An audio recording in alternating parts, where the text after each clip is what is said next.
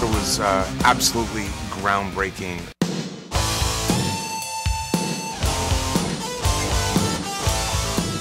Kicks ass. Great on stage, great music. They had it all going on.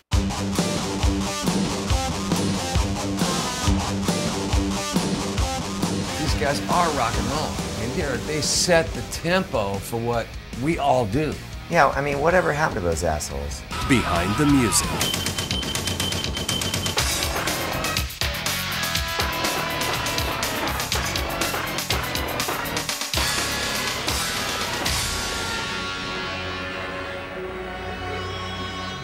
The local band that everyone knew but nobody talked about didn't start out as your usual rock and roll band.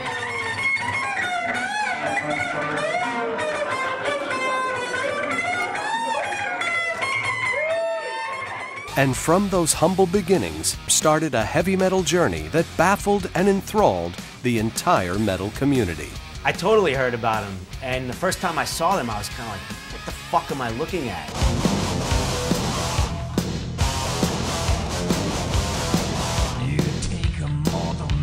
The fact that they just kind of never showed up and vanished was to me probably the most metal move they could have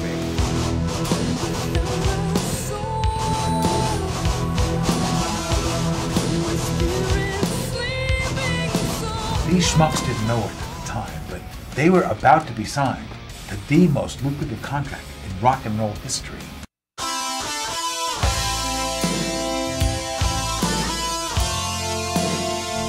Really, the manager said for them to show up at the showcase, to go to the showcase, they thought he said, go get shit faced. That was the last time anybody heard from them.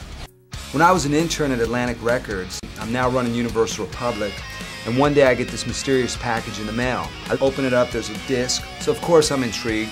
I put it in, and I'm here to tell you, without question, the best rock album I've ever heard.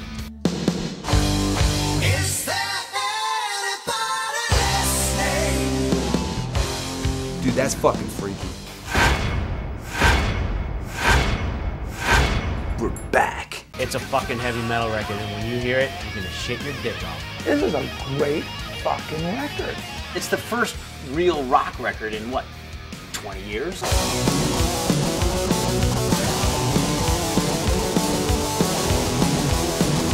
me, it was worth the 20 year wait. That's crazy, man. 20 years to make a record. Who would do that? We'll go on like that never ending story movie, but not as gay. I think he's right. There's something about this that, that, that's so black. It's like, how much more black could this be? And the answer is none. None more black. I think you'd like, you'd like rationalize.